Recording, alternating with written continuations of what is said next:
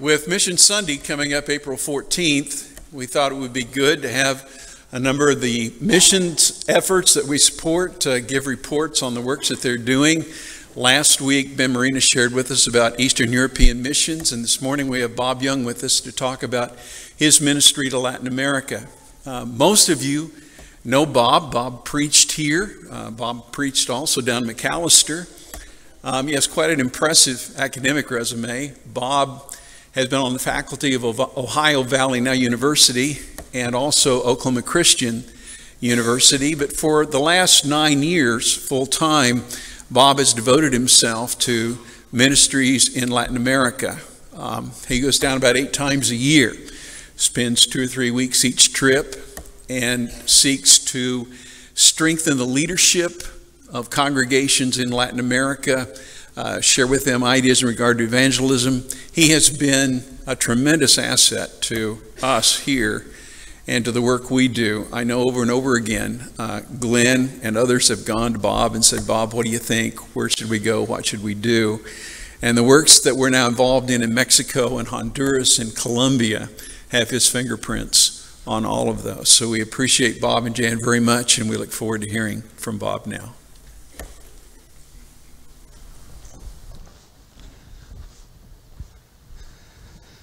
Thank you, Dan. Thank you for the invitation to come and to be a part. It's always a blessing to come home. Um, it's a blessing. It's also bittersweet uh, because of those we miss. And uh, so, one of the more recent changes, we watch and we weep with those that weep. We rejoice as we see people come to the church, but uh, uh, I didn't get my handshake, and Jan didn't get her hug from IB this morning. And uh, that's the nature of life.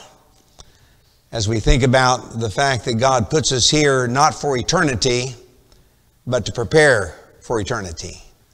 God puts us here because of something better that uh, all of us are anticipating. And as we read the New Testament, and as we think about the early days of the message of Jesus, even before the day of Pentecost, in the first chapter of the book of Acts and verse 8, the Bible says to Jesus' apostles, those to whom he was speaking, you will receive power when the Holy Spirit has come upon you, and you will be my witnesses.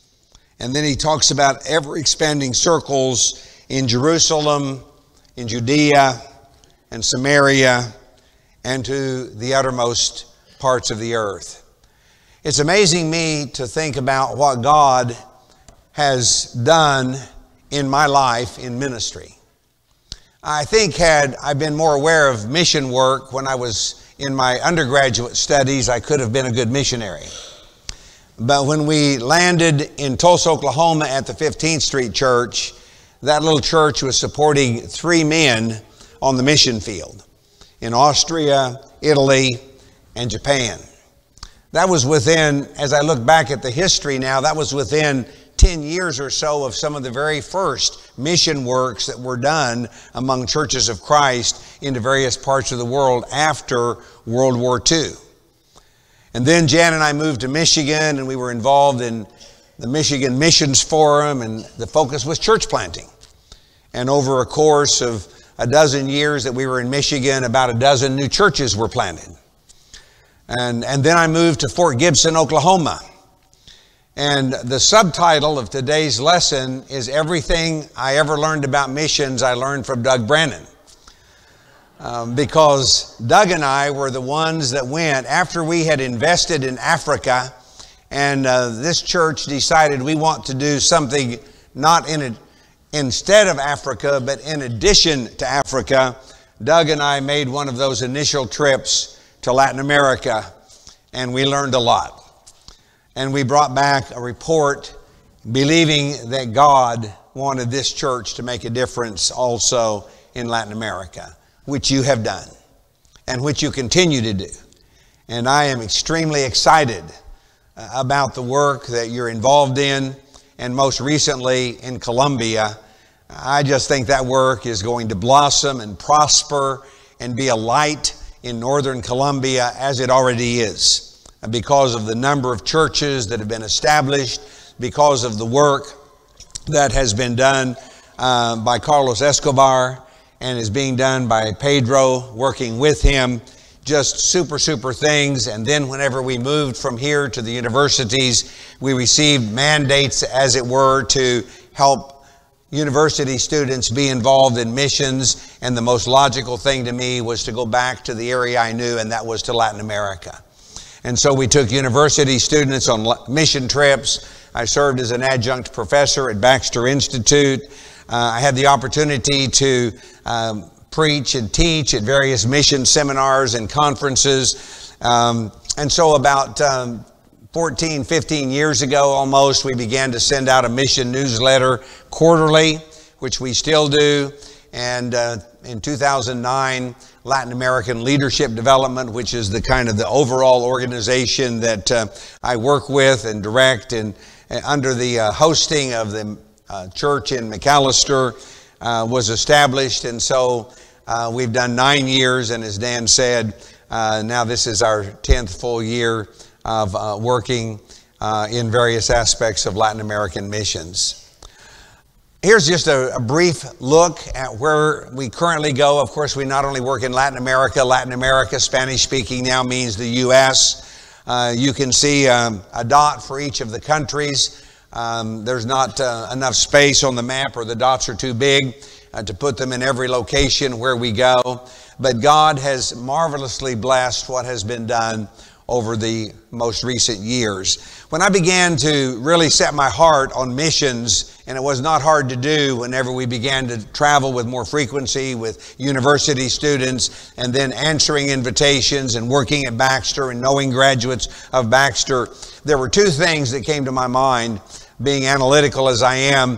What are the needs of the churches and where is a biblical model for doing mission work? And so the needs of the churches were not hard to identify. Healthy churches, discipleship, spiritual development, people who can be spiritually mature, those who can be equipped, uh, those who want to especially know how to do evangelism, how to be involved in greater evangelistic efforts to plant churches, churches that are self-directed and, and are self-reliant and are self-duplicating. But I was also interested in finding a biblical model. So the biblical part of what we'll do today, mission report, but also sermon, the biblical part is focused in some chapters in the book of Acts, beginning in chapter 13.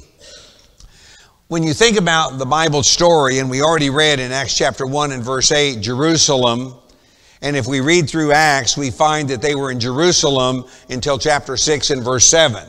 And many of the priests were obedient to the faith, and the word of God multiplied, and the number of disciples grew. But because of a persecution in chapter 8, it was necessary to leave Jerusalem. And so there is what biblically is known as the dispersion.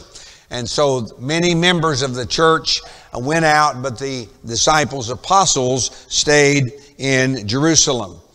And so we know how the gospel went to Samaria with Philip. We know how the gospel spread uh, southward uh, through the eunuch. Uh, we know the calling of Saul, Paul the apostle to be. We know about Cornelius, who is up at Joppa, and we see the entry into new areas. We see the gospel spreading northward into the areas of Galilee, Judea, Samaria, and the Bible says to the uttermost parts of the earth. So when we come to Acts chapter 13, we're in the city of Antioch, and there's a need for the gospel to go further unto the ends of the earth. And how will we do that? And the way we're going to do that is by sending someone. And so we begin to think about this part of the story. It was time to send someone to the ends of the earth, and Paul and Barnabas were sent by the church at Antioch. And what did they do? Before I tell you what they did, and many of you already know the story, I want to notice with you what they did not do. What did they did not do was go to a certain place and stay there for seven or ten years trying to establish the church in that place. What they did not do is what we tend many times to try to do today. They did not go someplace and commit themselves for the bigger part of a decade or longer. That's not what they did. They visited various places. They went through uh, Cyprus. They went to Perga of Pamphylia. They went to Antioch of Pisidia. They went to Lystra. They went to Iconium. They went to Derbe. They visited various places. They spent a few weeks at best in those places, a brief time, and they left a group of followers. And then they went back to the same places again. So in Acts chapter 14, verse 21, when they had preached the gospel to that city and made many disciples, they returned to Lystra, to Iconium, to Antioch, strengthening the souls of the disciples, encouraging them to continue in the faith, saying that through many tribulations we must enter the kingdom of God. And they appointed elders for them in every church with prayer and fasting.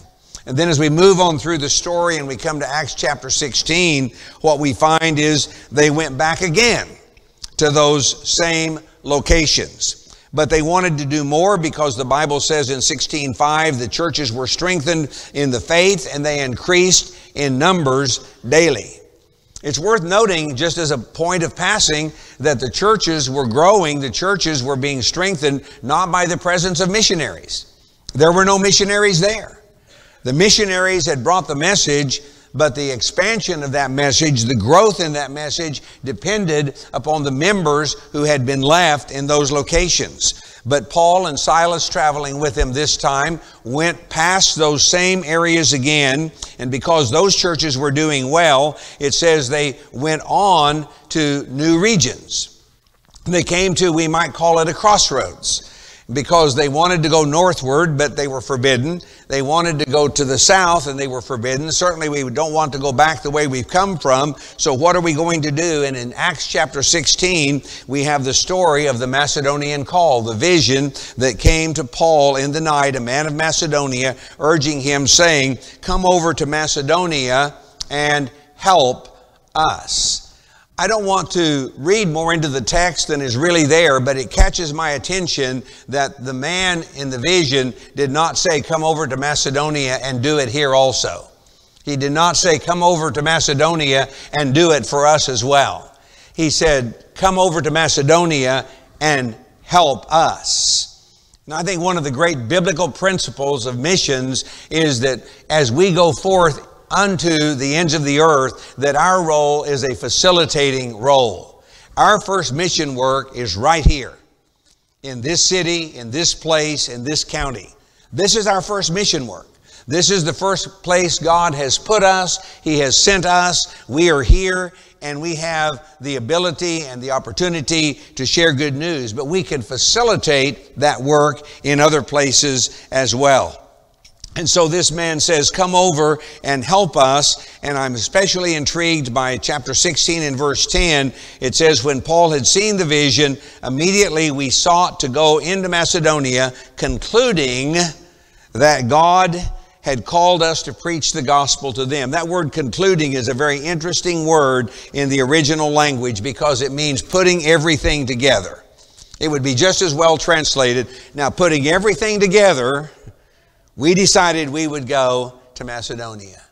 Sometimes God kind of has to strike us up beside the head in order to catch our attention and say, I'm trying to tell you something that will work. And I, I many times feel that way as I look at the work that we've strived, uh, that we've tried to do uh, in Latin America.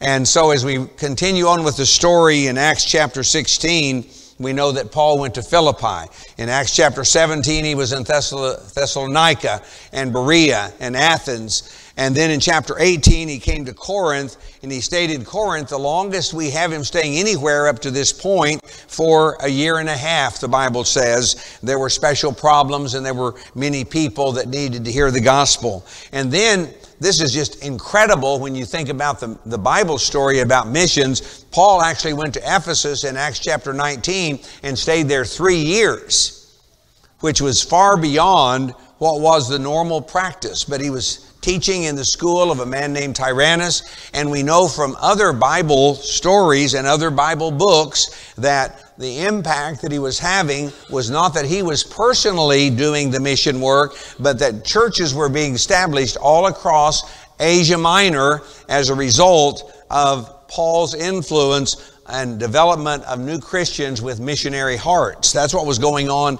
in Ephesus. And so when he gets ready to write to Colossae, to the church of the Colossians, he says, I've never seen them face to face. He says the same thing regarding the church in Laodicea and probably concerning the church in Hierapolis, uh, also that is mentioned in those places. And so here is the New Testament model that uh, gives us uh, insights from the most uh, extended historical passage that we have in the Bible to describe the expansion of the church in those years immediately after the establishment of the church on the day of Pentecost. And pretty much that's what we have taken as our biblical model.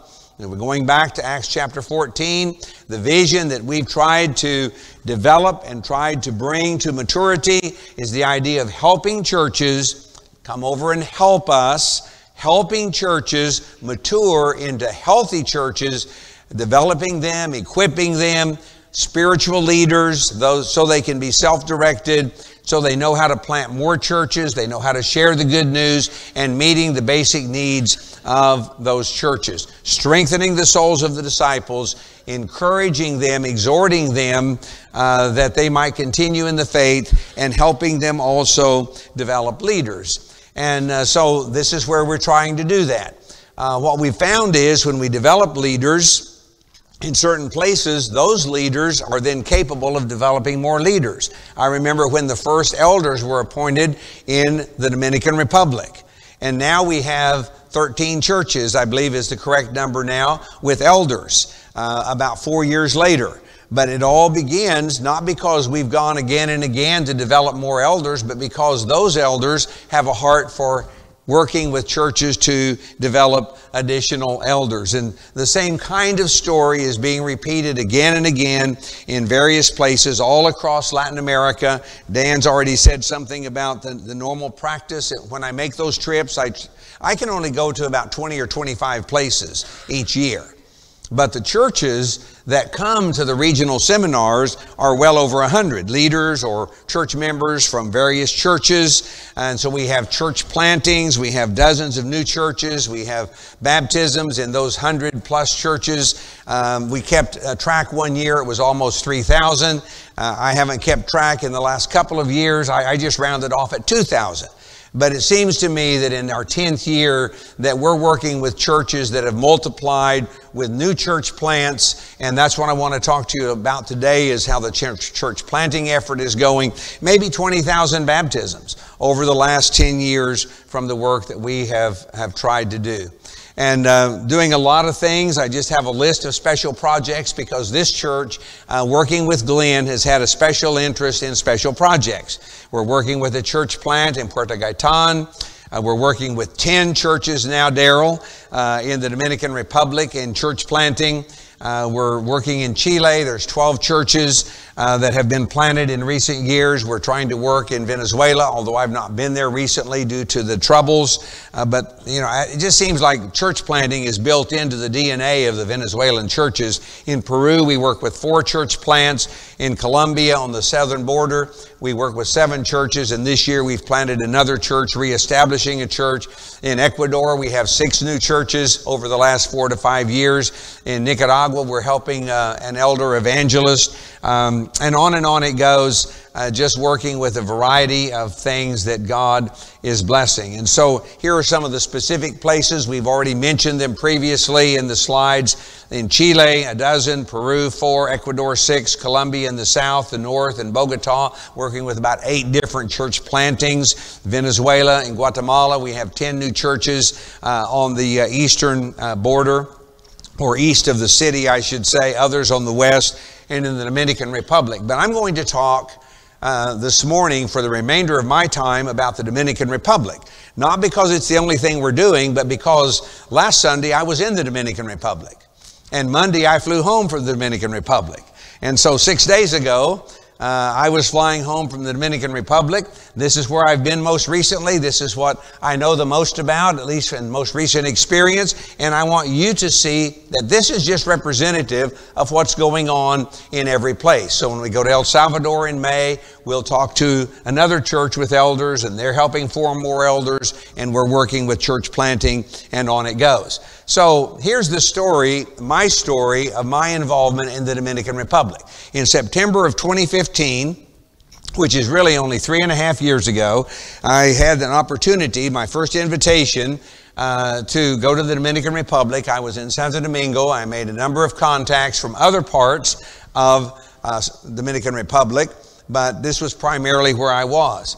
In October, about a year later, I went back and we named elders in the church in Neiba. Uh, they had uh, been involved in a process of training. They were mature men. All three of them are Baxter graduates. Uh, they went back to the Dominican about 30 years ago. They know the text. They know Scripture. They were in one place. They were qualified. And we named elders in uh, October of 2016. In June of 2017, they asked me to come back uh, and to preach a campaign. And at that time, I found out that they were establishing contacts with a number of Haitian churches, Creole speaking churches, um, that were from Haitian immigrants into the Dominican Republic, and these had formerly been denominational churches, but the denomination had dropped them because of the distance and the isolation. And so these elders had taken interest in these churches, in these leaders, and so we were beginning to have impact on them, and several of the members of those churches were being baptized. Eventually, uh, virtually all of the preachers have been baptized. And so they are preaching now the gospel, and you go and we do seminars in order to help. So in September of 2017, I was back again, this time in Santo Domingo, helping the establishment of churches and, and strengthening churches there. And uh, last year I didn't go. In 2018, my calendar was full in other places, but we continued to send support for the Haitian churches and the evangelism and church development effort. And so I want to talk to you about March of 2019. I want to talk to you about this month because I was just there. And so that's what we're going to talk about. I have uh, several pictures, and then the lesson will be yours. Uh, first of all, from 2016, here are the pictures from that first effort to establish elders. You can see the number of people who were there in the seminar in the larger picture across the top. Uh, they have a radio program. They always ask me to speak on the radio program. You can see the, the moto taxi, the typical way of getting around. If you want to go somewhere, you just hail a, a moto and uh, there you go. And uh, so you can go wherever you want to go if you're brave enough to get on the back of a moto um, because there, there are not many cars. Uh, there, there are not many cars at all. And so the result of that effort was there were three elders and four deacons named in the church in Neiba. This is kind of right on the border uh, with Haiti, about uh, three, four hours west of Santo Domingo, even though it's only about 150 miles, it's about four hours uh, west of Santo Domingo. And then we went back in 2017 uh, and preached a campaign. Uh, one of the elders uh, uh, on uh, his uh, three wheeler. that's how he was getting around because he has to haul a bunch of stuff, and so he had a, an area for cargo on the back of all of that. And you can see some of the uh, Haitian Christians, because they've become Christians now, uh, they're singing in Creole. I never had heard Creole before, but I heard a lot of Creole, and now this most recent week I've heard a lot more Creole. singing in Creole, wonderful, wonderful songs, preaching uh, a campaign. You can see that it's dark. The reason it's dark is that the church had the practice of just uh, cordoning off the street in front of their church building and setting up chairs and ch- setting up the loudspeaker and just totally blocking the street. And I, you know, in a town of only 50,000, I guess that's okay. Uh, I don't know how that'd go over in Fort Gibson if we went over and, and blocked South Lee and uh, said, "Hey, we're going to have a gospel meeting, and no one can go go past here for uh, the the next two or three days because we have all the chairs set up. Uh, we might have a case of flying chairs." Um, as we work with that. But we, we did the campaign and, and, it's just so exciting. We had numbers of people respond wanting to learn to be how to be evangelistic. We had 10 new Bible studies that were set up, people who responded but did not know enough yet to be baptized, but Bible studies were set up. And so that, that's what's going on. And so now we come to 2019. And um, you can see uh, here on the upper right are the Haitian leaders that we are now working with. These are the preachers from the 10 Haitian churches that we are now working with. Um, and uh, they are preaching the gospel. The point of the seminar that I did on Friday and Saturday, uh, they said, Would you please talk about the establishment of the church, the organization of the church, uh, the purpose of the church, the work of the church, the worship of the church? Just very, very basic things that these, it's all brand new uh, to these Haitian preachers who had uh, not been studying what the Bible says, been, been studying what they were told. And so they, they just love to study the Bible. You can't take a break. They say, well, we're going to have a 15 minute break. Well, as soon as the break time comes, they're surrounding with questions, questions, questions. They want to know. Now, the way we get by with their Creole is that most of them are bilingual at least minimally bilingual. So they speak Spanish, and so they're able to understand.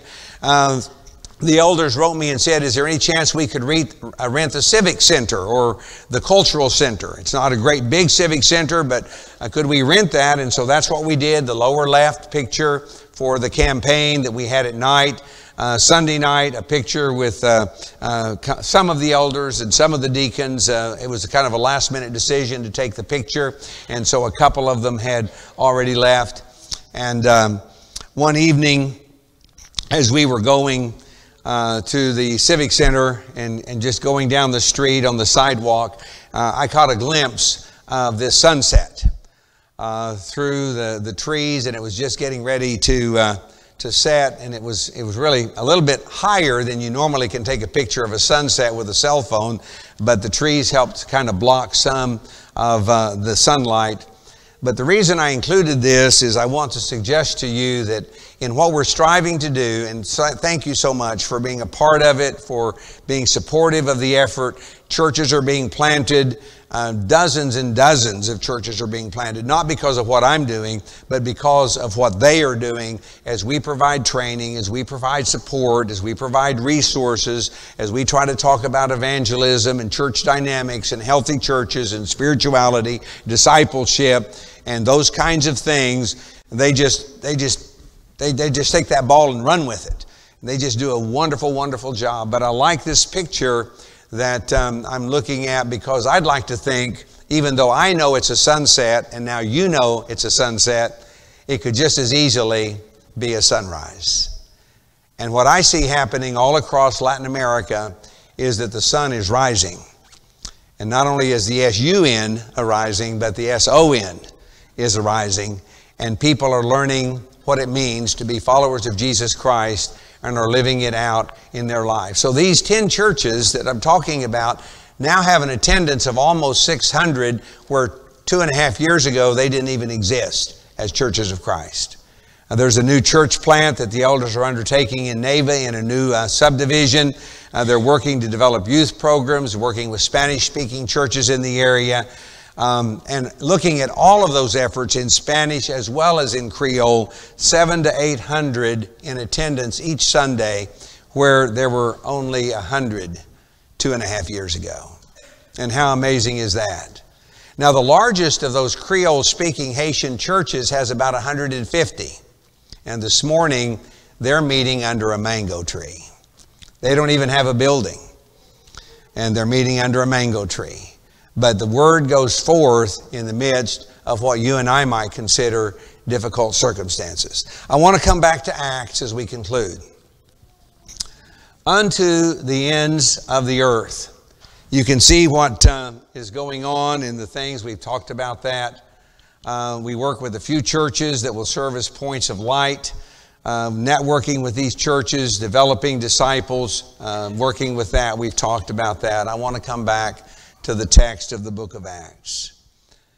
What was the message that Paul took to the ends of the earth?